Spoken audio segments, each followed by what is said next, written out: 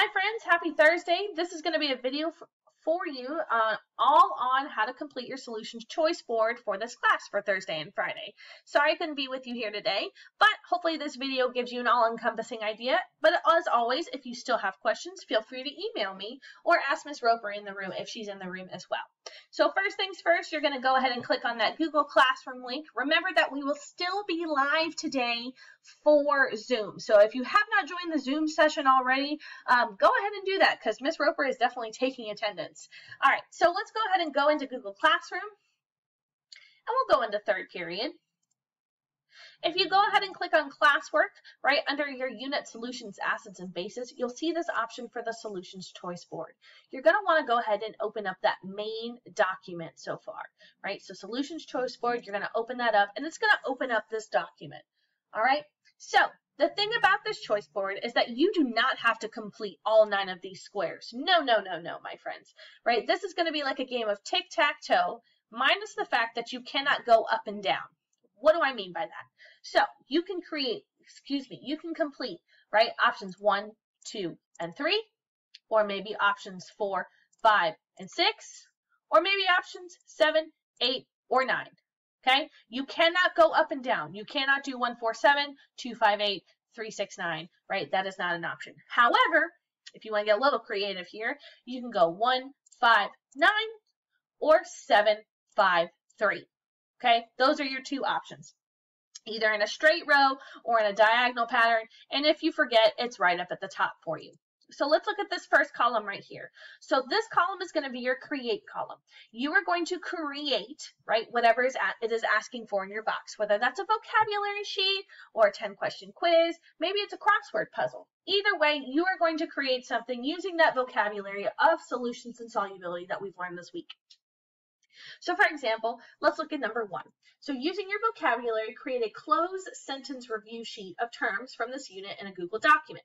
Make sure to include a line where each word goes and a word bank. If you've ever done fill in the blanks, that's what a closed sentence is, right? Nothing too complicated. So I'm going to go back up to that solutions choice board. And this is probably what it's going to look like for you. Okay. It's got your work here, right? And it's got the solution choice board document. We already have this open, so I'm not going to go ahead and open it up. However, this is telling me that I need to create a Google document. So instead of having to go through the hassle of downloading it and linking it, right, I'm going to hit add or create, and I'm going to go into click docs. And once that's finished loading, oh, there we go. It's complete, it's, excuse me, it's created Google Doc for me. So, right, I would type in my close sentence review. And I don't even have to worry about, right, it saving because it'll automatically save to Google Drive and it's going to automatically save to my assignment. So boom, one category completely knocked out. All right, let's think, let's look at the literacy column. And you'll do these for, excuse me, you will do that for all of the create ones. The only one that's going to have to be uploaded is this Discovery Puzzle Maker, right? If you want to create a crossword puzzle with your vocabulary terms, entering those words or clues. Okay, and once, it, once you hit create my puzzle, right, you will have to download it. And again, hit that add or create and upload it as a file, right, as a file, a link, or in your Google Drive. If you need help with that, definitely ask your teachers. We can definitely help you. Okay, so looking at the, the solutions choice board now, let's go to the second column of literacy. These are just like, just like, okay, just like the uh, activities you have been doing for the last two days in class. So in this case, I think I'm going to go to number five.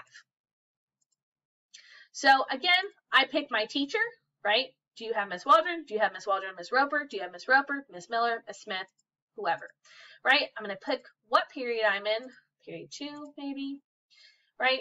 I'm going to read the article, which is also found in the actual choice board box for you, and I'm going to answer my question. Now, no, you must answer all the questions before you can move on, and Google Forms doesn't automatically or save your, your uh, answers. So make sure that you're either putting your stuff in a Google Doc or in a sticky note or something so that if you lose your Google form, you don't lose all your answers before you submit. Now, this one's also calling for me to watch a video, so I would go ahead and click on that. That's going to be through Safari Montage. So as long as you're connected to your school account, it should work. If it's not, ask your teacher. So you don't have to make a copy of the following drawing, right? So once you watch this video, it'll make a lot of sense on what you're supposed to do with this model. But I've already made a copy for you. So if you choose number five right here, right here, right here, okay, it is already in your solutions choice board and it's actually sitting probably right at the top. Right, you'll move around your molecules, whichever way you need to move them, and boom, Google saves it for you again. Google is the real MVP, let me tell you, right? The real MVP. All right, so let's say I've finished that one, so I'm going to go ahead and close these two out. I hit it, uh, I hit it, I hit submit, right? I have uploaded to Google Classroom. We're good to go. And I can close that out. It will automatically save your answers for every single assignment in the literacy column, right? Two, five, and eight. As long as you submit that Google form, it will automatically save your answer. All right, so I'm going to go ahead and finish off my third choice. I'm going to look at number nine. Now, there's a lab proposal template right? Because in this case, we're going to be designing an experiment. Again, I've left you the lab proposal template in your Google Classroom. So you don't have to make a copy of it, right? Unless, um, excuse me, unless you accidentally delete it, okay? But I'm going to show you a trick to that in just a second. So notice here, you can ignore that red font, right? If you don't, if you have not made a copy, if you don't excuse me, because you'll already have it in your Google Classroom, right? You're gonna have to double click on the boxes, right, to answer the questions, right? For hypothesis, material needed. You can also click on the box and hit edit, and it will automatically save, right, once you edit it. And again, it's just sitting there right there in your Google Classroom. So what happens if you automatic if you accidentally delete something, right? So let's say I accidentally delete uh, this uh, Google Doc right here. Uh-oh, right? Well, thankfully, Ms. Roper made a copy for me, so I can just hit make a copy again, right? And that lab proposal template is automatically going to pop up for me. Um, no problem whatsoever. I can get it back, right? And I can go back in, in and edit that as well, okay? Um, anything that you create in Google Docs, right? If you if you accidentally upload something that you don't want, right, you can exit out of it, right? And then go ahead and hit add or create and go back into your Google Drive and add that as well, okay? Or you can just create a new one. Now there is another option on here that is going to require you to have a Google Doc, right? Um, or a model or a Google Drawing, which are all uh, options on here, right? Um, so you can upload a doc, a slides, um, a, a, spreadsheet, or a drawing, right? Doesn't matter if you choose to do a, a model here. Uh, but another one that you have is your Flipgrid right? Um, so what you can do uh, for your Flipgrid is you're going to create a video and share it on Flipgrid, um, giving me an example of unsaturated, saturated, and supersaturated solutions, right? You have to tell me why it's classified as that, right? You can't just hold up a bottle of water and tell me that it's saturated. That's not the correct answer anyways, but you should be able to tell me why. So I'm going to go ahead and click on this Flipgrid, right? You're going to hit join with Google, and you're going to go ahead and sign in with your Google account. Now, the solutions choice board is already active for you, but you are going to go ahead and hit record a response, right? Assuming that you've got all your materials together. And it's going to automatically, right, pop up as your camera. You can see my lovely home in the background, pop up with your camera, and you can go ahead and record that response. So let's say you've recorded your response, you're ready to go, you've shown me all of your different types of solutions. And I'm going to stop recording now. And I'm going to hit next. Right? You're going to go ahead and upload that. Go ahead and type in your full name here. Right? Ooh, that's a lovely, lovely frame. You can definitely take a selfie, add a name tag, or, you know, upload a photo over that. That's just absolutely beautiful for me, right? Um, and you can go ahead and hit submit. So it's going to upload that video just a great cover photo. What can I say, y'all? I'm glad you came to watch this video. That way you can get the full effect, right? Um, so you can either download the video or the easiest thing to do, right, is to go and hit that link right here if you want to share it. You're going to go ahead and copy that link.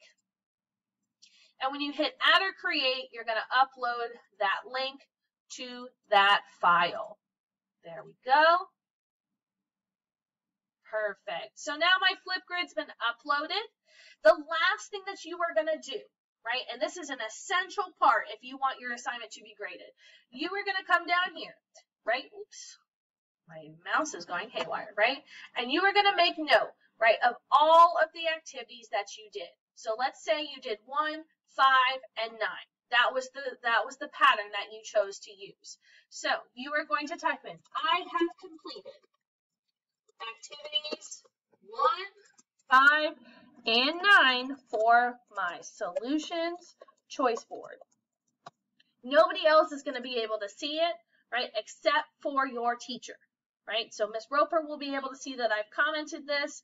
We'll be good to go. And then I'm ready to turn it right? I check that I have all the things that I need, right? Did I submit a literacy assignment through a Google form? Did I create something for that first one, right? I may not need this lab proposal if I've done the Flipgrid, right? But, um, excuse me, I just wanted to show you how to upload that file.